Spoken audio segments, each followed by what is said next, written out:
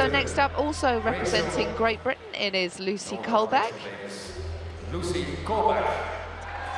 Very talented athlete is Lucie. She's known for her beautiful lines. So let's see what she's got here today in the final. Double layout there, just lost a little bit of speed. Whoa! Well, she made a big mistake there in the middle, but she managed to cover that one up.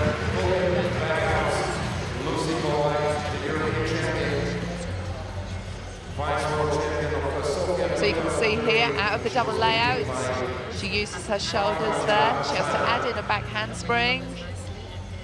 Recovers nicely and recovers and finishes with a nice high-end double pike, full-in pike.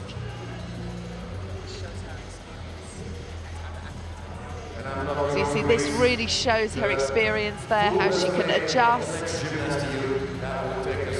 Other athletes would have not been able to adjust the elements, perform the 10 skills there.